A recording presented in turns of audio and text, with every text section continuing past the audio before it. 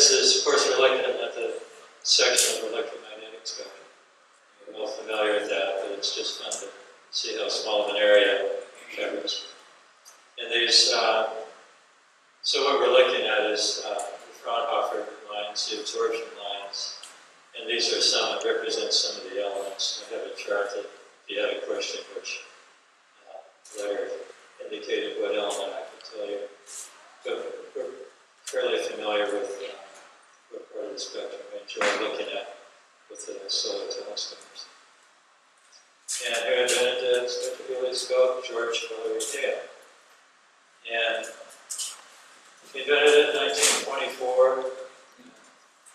He wanted to see the sun in real time.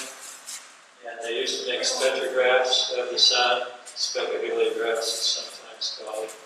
Many of you are probably familiar with the three volumes telescope. And that's where I kind of got the idea I'm interested in maybe building looking at the sun. So this was uh, an illustration in the book. And George Ellery Hale had this, I think this is probably his first design, and he used oscillating oscillating slits that went back and forth. He had a coelostat, this in, he had it in a, a garage actually, and he had a lens, the light went from the coelostat through an entrance slit over here, and down uh, to a mirror, then back, hit a grating, back, hit the other mirror, and came back through the entrance slit. What's it hitting first? Pardon? What's it hitting first? Mirror, right? Oh, this, this is a coelostat. The sun comes down here. Well, this is, the sun hits this, goes back up, it's this mirror, and goes through the lens, and it's focused, the image is focused on the entrance slit. Same thing happens with this one, basically, except it's an all mirror system. This is a top view, so you can kind of see the light path through the top view. This is the coelostat arrangement outside this garage. Now, kind of remember how this looks, because you're going to see it again. And, this at the time he was using instrument. Okay, I already mentioned, I read about the spectrohelioscope, the book, but the way it used large cement piers and all the heavy structure to, to keep it uh, from vibrating or to keep it, everything in line, it seemed kind of difficult. I met Fred in the early 80s at a Star Party, and I mentioned this to him, and then he started talking about spectrohelioscopes. He had written a book on spectrohelioscopes. So this is Fred on the right, and I'm on the left. And I've had it together for a while, and we would set it up in my backyard, and Fred would come down, and we'd look through it, and he would take notes. I'm not a very good scientist as far as reporting things, using it for later, but he is. He was good at that. And then he kept finding more things that we could search for with this instrument because it had such a good dispersion of the spectrum. You could see some detail in the spectral lines. This is the current light path of this instrument. So we have the sun up here. This is a coelostat, uh, has two mirrors. This mirror rotates once every 48 hours. When you reflect an object onto another mirror, you move the mirror that's reflecting the object onto it. it this, the light moves, or the image moves twice the speed that you move this. So you have to gear it down. Yeah. We can't see you pointing at the screen, you have to point at that screen. Oh, okay. There you go. Thank you. I'm an amateur. Thank you. Okay. And then, um, and I didn't move this down here, but then the light from the second mirror goes to the telescope mirror, which was here. The light from the telescope mirror comes down and it goes into this diagonal. And from there, it goes down inside the box. It hits the mirror that's on a aluminum plate. Aluminum plate has two mirrors on it. It's long. The light goes down, hits this mirror, and then it goes that way. It goes into an entrance slit, which you can see here. At the back of the box, down at the far end inside, is an eight-inch diameter mirror. It's an F11. Used to go to a Schiefspiegler telescope. A friend of mine gave it to me. That's it's- okay. That's an eight-inch mirror, and in front of it is a mask. And the mask has two circular holes in it, so it acts like two mirrors. So the light hits the nodding mirror, goes through the entrance slit. It's this side. Then it comes back down the box as parallel light. It's not focused light, it's just parallel. And it hits the diffraction grating. This is the diffraction grating. It has 1200 lines uh, per millimeter. It's a two inch square. And then it goes back to the other side of the mirror. Goes on that side, and it's still parallel light. Then it comes back through either an exit slit or just an opening. And I'll show you how it works here, but it goes through an opening. If I have the exit slit there, I would use this instrument to look at the disk of the sun. I could move the exit slit out of the way, and I could look at the spectrum of the sun. I'll explain later how that works. Well, the eyepiece arrangement I have here, it's a 45 degree uh, prism arrangement. I guess they call it a directing prism. But I had a little objective uh, lenses on either side to make like a relay lens to get the image from the slit up through the optics so you can see it. The image is actually about eight inches away, so I have to focus to that distance. And the eye relief was so great that I had to make an extension with a round hole in it so you get your eye in the right spot, otherwise you have a hard time getting your eye where the very disc is. This way we go on. We'll go on. I have some videos here I'll show you. I had a simple little heliostat here. In fact, it's the mirror that's inside this now. I had it aluminized. A friend of mine gave it, gave it to me. This is about a three and a quarter lens that I had. It was an F12 uh, refractor. This is the first design, just to see if it was going to work. I wasn't really sure. Of course, Fred was helping me with it also. Okay, these are, um, I just had it set up in the backyard with one of the stands that you see here, just a bench and some wood to hold it up. And you can see how small the diagonal was that goes down the side over here. this looks like a stovepipe. But I was having a hard time focusing so I said, Opti- op- optical so I was experimenting. And then I had, uh, for telling the diffraction grade, I used a micrometer. As you can see a little housing here.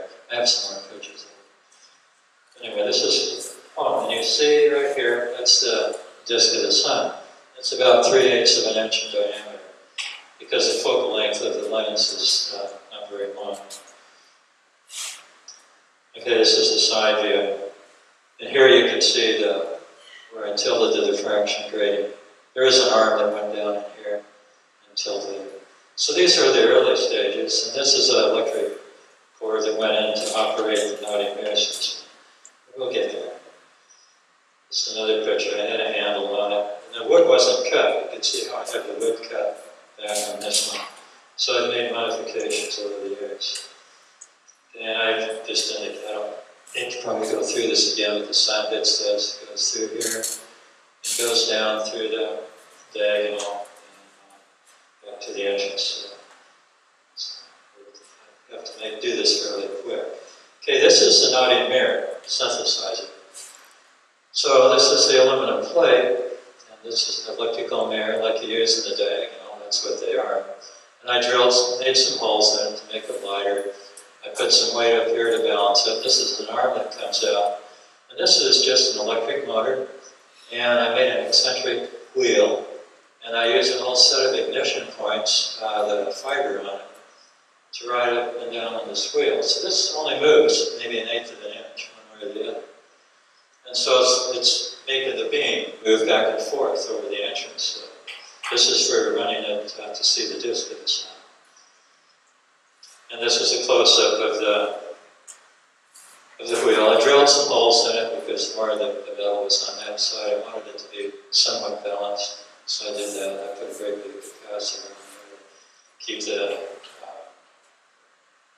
from burning the common to the keep it last longer, and it's just spring load. Holds it down, I was able to make some adjustments here. You have to make everything adjustable. This is how it looks inside the box. So this is, the light comes down, hits that, goes to the entrance. The- On that side's the, uh, the diagonal mirror where the light comes out of the, that's the entrance, comes out of the exit slit down into the eyepiece. This is a great big piece of steel. Was worried about vibration, it's rubber biscuits and stuff to keep the vibration down, but that hasn't been an issue. Okay, now this is when somebody used to kid me about this, what are you cooking here, you know? It's, like, okay, it's almost done. But I, you have to get to everything, and you have to make adjustments. And so those are just access points. But I made the, oh, you'll see better, you'll see better pictures of this. But I made the adjustable slits, made them out of a stainless steel. This is looking inside. I used to have what was called an image shifter. It's just a piece of glass, but it acted, it, it allowed you to bend the light a little bit when you turned it. But I had a heliostat, and it didn't always track uh, real good, so this allowed you to try to keep the, what you're looking at in view a little bit longer. Then I have a red filter over here, because some of the uh, diffraction grating has different, uh, they overlapping of different orders, first order, second order, third order. So first order spreads out so far, second order twice as far, but there's some overlap. So this took care of the overlap of hydrogen alpha. Well, that's going up to the eyepiece there, and then coming down would be uh, going into the diagonal. But you can kind of see how it looks inside. This is a close-up of the exit slit arrangement. And you can see I have a hinge over here. The exit slit system is here. This tapered cone, when you push, when you screw that in there, pushes those two uh, things apart and spreads the slits apart like this, evenly. Why? You, you want to keep it, uh, the light all in the same uh, axis. Now, if I wanted to look at the spectrum, I just move that out of the way, like the door. That was just a little knob to allow me to swing it the. So it was an easy way to put the uh, exit slit in and this is a, now this is down at Hale Solar Lab, I set it up down there. You'll see some pictures of that. It's a friend, Kay, he's looking at the Ebert mirror that's inside.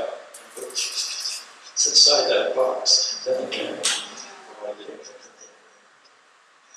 And then behind it, there's electric motor system.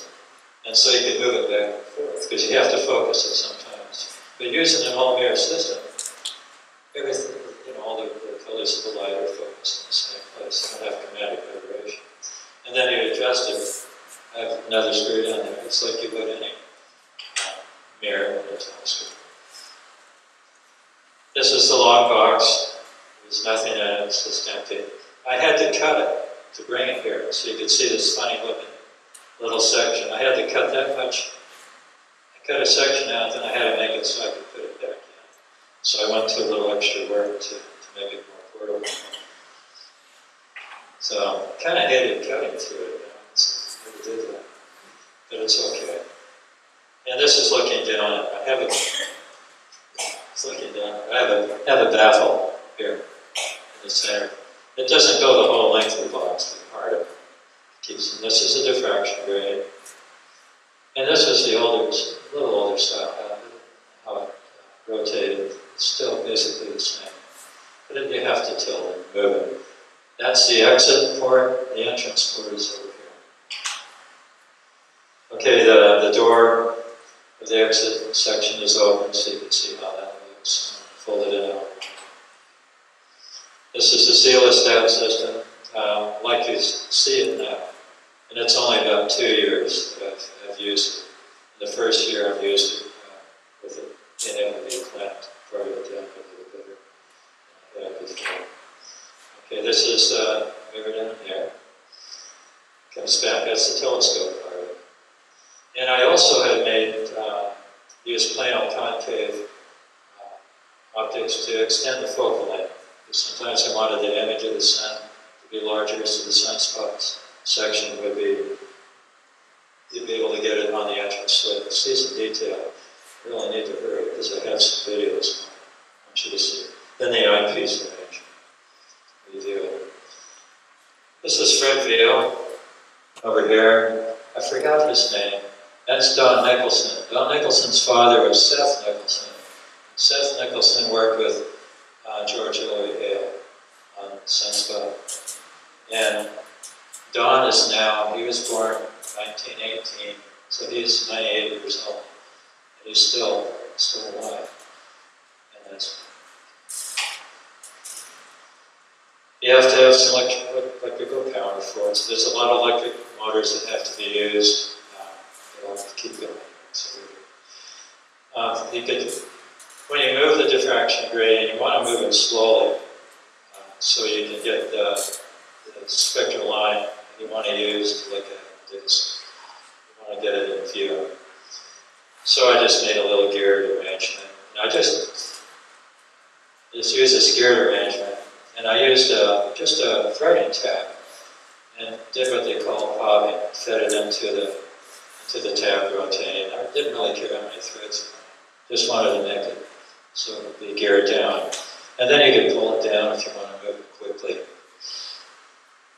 This is Fred Veio, Riverside. I took him down there one time, so we did, uh, he'd have a chance. He went there many years ago, and it was nice for him to be able to come down again. This is hydrogen alpha. If you look at it visually in person, it looks a little better, but I took this with a, just a camera in color. But everything you see with your eye through it. These are sodium lines, very, very dark, uh, D1, D2. There's some lines. You see a lot of detail in this. It really spreads the spectrum out quite a ways because of the long focal length. This is uh, helium in emission.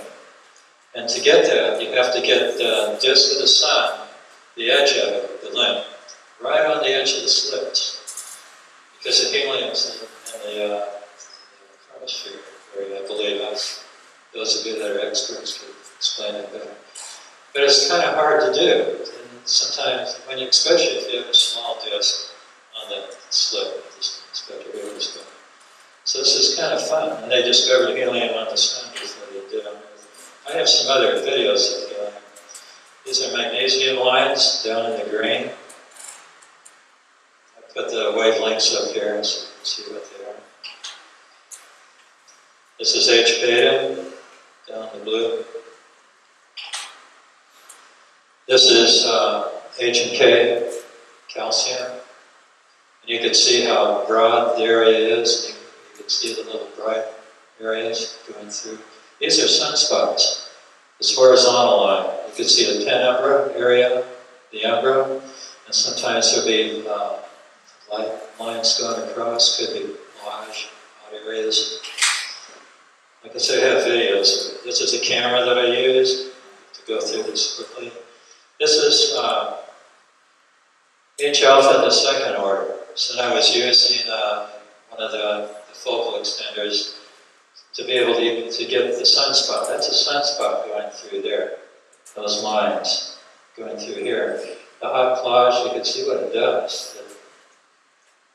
It's just going down. But it, it makes openings. And a lot of times when you see this right here, that's probably a filament and if it's off, then it's a Doppler shift. If you know how far, know how far part of an action that is, then there's formulas you could use to tell the velocity of it. So you see some of the, the dynamics that go on. This is probably done in year 2000, somewhere around there, when the sun is really active. There's a lot of magnetic areas. Now, I never thought I'd ever see this with this instrument, but that's the Zeeman split. And that's down in the magnesium area, the green area. And I found a line down there that looked really neat, and it's this. You can see how it's bowed out, you can see a little space in between there. And how do you know where you are? Well, you have some charts and things that you could use. See some of that. This is off the spectrum of the sun. And this is the spectrum, but it's overexposed. This is what you see. The hydrogen alpha line is down here. And at the edge of the spectrum, open space, this is coming off. And you can see how it's zigzag. And when you're moving the image of the sun over the entrance slit, you see this line moving around like a flame. And you'll see parts of it go in different directions. And those are Doppler shifts, so it has velocity in different directions. That's another one coming off the, the spectrum. So you don't need to even have a mirror, or you could just see it off the spectrum. Some more, there's quite a Doppler shift here, going way off. I saw one uh, through the eyepiece of the, and it was beyond the field of view. It was a spray, I think, coming off the sun. But here it is on both sides. This is a, sun, a sunspot. This is also another. They're not all the same density, but there's some penumbra here. And a lot of it, course, I'm using a video camera, and so sometimes you can adjust the gain a little, you know, not uh, quite correct. But you know, these are the things that happen. This is sodium, but you can see over in here a little bright spot. That's where helium is. That's a little bit of helium in emission. This is just done off a, a monitor. Just put it in there. But look at all the, see the hydrogen alpha line is not smooth. You see all this jagged stuff along here. That's Doppler shifting. The, the, the cells, the granulation, rising and falling, rising and falling. And you're seeing this. It looks like a snake when you're moving the, uh, the disk of the sun over the entrance. This thing just wiggles. You see dark areas, light areas. It's just, to me, it's pretty exciting because you're watching the, physics going on. And I just use a VCR recorder and a little CRT thing. There's a camera there, I put it on there. Here's Zeeman split again. Now this is in color. I took it with my handheld camera. I think it's this one. You can see a little bit of green in between. This is a profile chart, so use charts to tell where you are, uh, to identify the lines, the angstrom. This is uh, a chart that shows the absorption lines. I have some up here on top of the spectroscope box. This is a book that you could use to, and it tells you what all these lines are, most of them. So if you know where it is on the spectrum, you could look at that and you can tell what it, find out what it is. And this is the favorite line I like to look for here. It really is sensitive to the magnetic field. There's Don Nicholson, Fred, you're looking through the charts. You could spend all day just looking at one aspect of this. And looking at the spectrum itself and what's going on is fascinating. The disk part is uh, is interesting too, but I enjoy looking at the spectrum the most. But there's, oh, it's the Venus transit. I just did it for the fun of it. Just a dark line, that's all it is. It Goes across the whole spectrum. So, now here's but when the nodding mirror is running, and you have hydrogen alpha behind there. That's what the what the sun looks like through this instrument. And then it looks like looking through a door. And you're moving the, the disc, you're moving the disc of the, image of the disc of the sun on the entrance there. Behind it, you see the sun's moving behind the door, moving up and down, back and forth. I have some videos of that. So I'm not going to go through this because it's not a really great lesson uh, of this, but going to do that. Okay. I won't talk during this. Amazing. I made this last too long. Anything else is new. Okay, this is calcium. I don't know whether it's H or K calcium. I really can't tell the difference. They're very, they look exactly the same to me when you look through them. Might be difference. But the nodding, you don't see this that way when you're looking. Well, I can't see calcium with uh, H or with my eyes visually. I can only do it with the camera. Our eyes are not sensitive enough. Maybe a really young person with real good eyes can see that far. The spectrohelioscopes do not make real bright images, but well they do in the spectrum, but not when you operate it to see the disk. So what I was doing here was just going over the whole disk of the sun, and I was just doing this for the fun of it, for me. I never was planning on showing this to anybody, but since I was asked, Jen invited me to come here, so I thought, well, I better do something like this. I had to dig through a bunch of videos that I did, find some that might be suitable. But after a while, I'll change it to hydrogen alpha, and you'll see the difference. And it's, you know, maybe it could be focused there. there's always something you can do to make it better. But this, to be able to do this, just mechanically, with the same, right, you know, nodding back and forth, and what it does is it leaves a latent image in front of your eye, like watching an old uh, movie. And it's actually, it's flickering about 30 times a second, but a video, the video cameras aren't synchronized to this, so it's the synchronization that gives this weird uh, kind of appearance to it. So we'll look at it's taking too long, I could just go to the next one. But this was kind of interesting. Now we're in hydrogen alpha, that's a filament that's up here, right in there. Very dark, a lot of contrast. You may not see that much contrast visually, but with the camera, you know, you could adjust these things somewhat. And when it starts, sometimes it starts to get synchronized pretty good, we'll go back and forth slow, but other times it goes different speed. So what I'm doing, I'm using it just a heliostat at this stage of the special heliostat. So I reach up and I grab it and I move it around. But that's what this instrument can do. I was looking at a uh, filament yesterday with it from the sunrise before the clouds came in.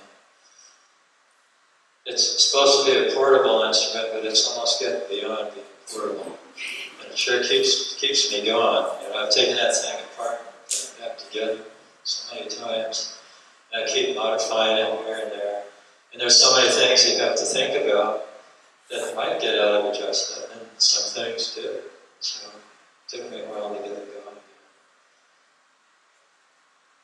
It's, uh, yeah, astronomy is a fun hobby, it sure. uh, it gets to you. I never thought I would get so involved. Now that's the prominence. Did you see that little part up there? Yeah. So, you know, if you overexpose the sun, then you can start seeing some of these prominences.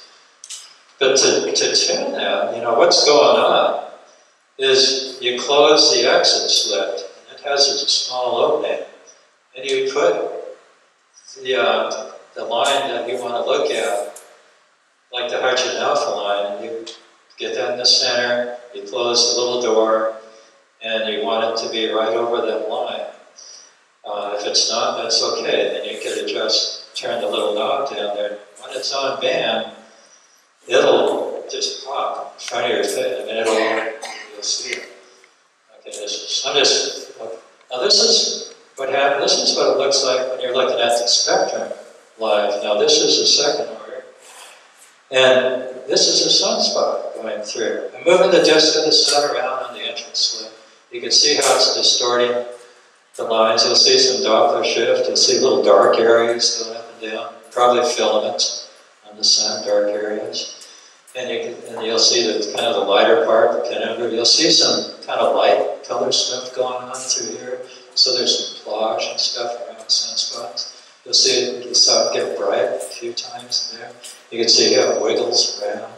You can see all this going on. When I was doing this, I had to have the red filter on it because I'm in the second order there's some overlap. So you see a lot of detail. And then I, yeah, this, uh, there's a lot of 99, 2000, 2001, a lot of stuff there, dark. And a lot of times, a lot of times you can see the, there's a penumbra, there's an umbra, the penumbra, and the penumbra you, you'll see some spectral lines also. So there's a lot of stuff going on that I don't understand. You can see how it's cutting across sideways. So it's just moving up and down, all this activity. There's nothing boring about it, at least to me. And there's, uh, and the sun is dynamic, all kinds of stuff going on all the time with it. And when you don't think anything's going on, uh, usually, you know, you, you could look at it, and usually something will be happening. But the sunspot, uh, really exciting. So let's see, I guess I could go on to the next one here so we can see. Okay, H and K lines. So here we are, sunspot down the line. You can see the hot area in there. You'll see a little change in this. But they have what they call, uh, if you look at a profile chart, I have some up here. It's spread way out, you can see how dark gets out in, out in this area and out over, and out over the other side also. But they're, it's hard to tell. They're, they both look the same. They both behave the same. But that's and K. I'll go ahead and go on to the next one. But you can see what it's doing now. You see a difference. How it's flashing, almost like the lightning last night.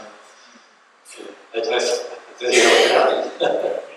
But to me, this is, I like, I like this. So dynamic. Okay, we'll go on to this one. Okay, you'll see some promises. Well, you know, this, this, this, this is a, uh, a prominence. And then, part of the spectrum of the sun is that, that washed out area. This area here, that's just kind of ambient light you see above. This is a large, fairly large prominence, and we'll get to it eventually. And what I'm doing is I'm cutting through sections of it, so it looks like there's different layers, but I'm actually moving the sun, and it's seeing different heights, different positions. So it, almost looks like a flame sometimes, depending on the, the style of it. I'll, I'll put it, it'll go into the nodding mirror part, and then you'll see what, I- what we're looking at. I kind of got angry with myself when I was watching this and I was saying, hurry up, do something different. See, but you're seeing it for the first time, so maybe it won't bother you like it it's kind of kicking myself, you know? Pardon me? It is. Yeah, yeah, you'll see. Okay, I close the exit slit, and it'll start vibrating. You'll see, see what happens. Gotta get it. So, see what happens? Yeah, now you get the idea. Now, but see, this kind of tells you what, how the mirror system works, what it does, what it allows you to see, and what, what you're looking at. There was another prominence on there that was a little smaller, and I think I got that. And I also uh, changed the, the gain on the camera so you could see a little bit of the disk of the sun. But what's fun is you can control the bandwidth just by turning the, moving the hydrogen alpha line. You could tune it on band, off band. You saw some of the the sun when I, I tuned it a little differently. When I changed, now there's the other on the other side. So if you, when you have the spectrum, just the spectrum showing with the hydrogen alpha line, if you move the disk to the center around, and you go by a prominence, you'll see it off the end of the, off the end of the hydrogen alpha line, like it's going into space. Uh, okay. And we'll see what happens. Go on to the next one. Oh, we can see something. Well, I don't know if that's. Let's, we'll go to the next one. This will be the H alpha line at first order, so it looks a little darker, but you can see. Uh, oh, there's two. Oh yeah, here we go. Burn a hole in the screen. Okay, there's a, yeah, a strong sunspot. You can see the pinnacle between the two of them. There are probably two spots in the same pinnacle. You can, you'll see light, light areas go- going through. This is a little short, but it's kind of it's interesting. Okay, so on there, it's good. Okay, now helium and absorption and emission. Helium's off to the side of the sodium lines, and you'll see that the helium is over in here. It'll show up. Yeah, see it? It's a little dark area above and below. I'll keep this off of it, and you'll see some bright areas eventually. That's kind of a rare treat. The, the magnetic field has to be really strong. There has to be some really hot areas for this to happen. You can see the you can see the emission right there where it's hot. the absorption. With, without a sunspot, you don't even see the line there. It's not visible. I don't forget the reason for it, you don't see that. I thought that was kind of neat. So I spent time imaging that. You can see how it's affecting the, these lines here. It's making them get wider. But that's, you can tell it's a strong magnetic field. If I were down in the green now at this point, the line that I like to see, you would see this thing split for sure. There we are. That's a rare, rare sign. At least, I guess it is. For me it was. So um, we'll keep going a little bit. Okay, let's go on again. Know, okay, this is how you do it on the limit the. I showed you one, but this is not. Okay. That's how helium looks on the limb of the sun. And it's hard to get that sun on the limit the if you don't have a system to track it really, really that great. Yeah, what's in the fence? Okay. All right, here's places it's been. Quite a few, ten. I didn't even at the SolarFest down here. It's up here. You can see. This is Riverside Telescope Makers. Uh, a lot of you probably have, have you been. How many have been to Riverside? It's on the west coast. That's one of the big ones. I took this there over 11 years in a row after I got the order for it that I felt obligated to take it. I've never looked through another one yet. So I was invited to go to uh, Arizona, Flagstaff area, and I met a Dr. Knighty, is his name, and this is uh, Bill Kelly here.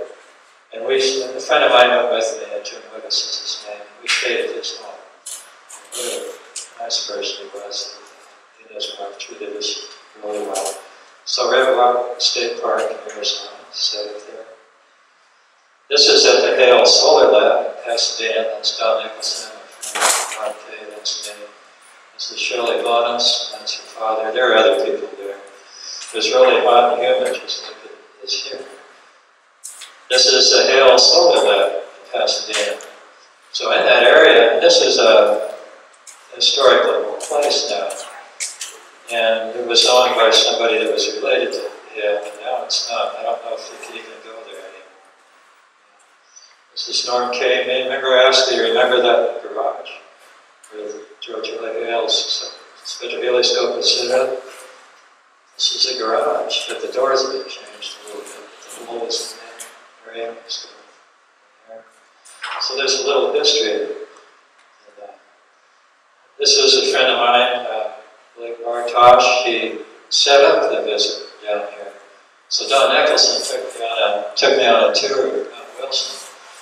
We went down in the, the basement of the 100 inch and saw some of the lockers that the uh, astronomers used. It, uh, it opens up a lot of doors, a lot of opportunity. This is uh, Mount Wilson, and Larry Webster, this gentleman here, was the head solar observer. Uh, Don wanted him to see it. Larry is busy all the time. He'd climb up here move the coelostat around noon. And so I had this old Diamond Dodge pickup, and I showed him parts of it. Eventually he came to Riverside, and he looked through it. Had a good time. My wife and I went there years ago, heard this commotion going on at the bottom of the solar thing. I knew somebody was in there, and I rattled the, the gate a little bit, and out he walks. I didn't know, and he invited us in, so he showed me down inside the, where the imaging is done. And, and I drew on the, on the board the uh, plan that I had for the special helioscope. These are Anderson prisms. This is was used on the snow telescope at Mount Wilson. And you can see they're not very big. That's the way Webster's hand, right there. They're probably not more than a, a half inch or maybe a, a little less even. They're elongated. And these things, I guess, are just to keep you from bumping into it. There's one here and one over here. That's another way of synthesizing the sun on the entrance slit instead of a nodding mirror. You shine a light through the prism. The prism has its vein while sweeping across the entrance slit. There's other ways of doing it too. Fred Veio has written, I, brought one of his books, that he gave me. He and I have become really good friends Joe Perry brought me over. I wouldn't be here if it wasn't for Joe. He offered to bring me. This is at the Golden State Star Party in California. So I, you could see the sea clamps and stuff. So I was experimenting with the Celestine system. It's at a plateau about 4,000 feet high in the northeast part of California. Cattle ranch. The skies are just unbelievable.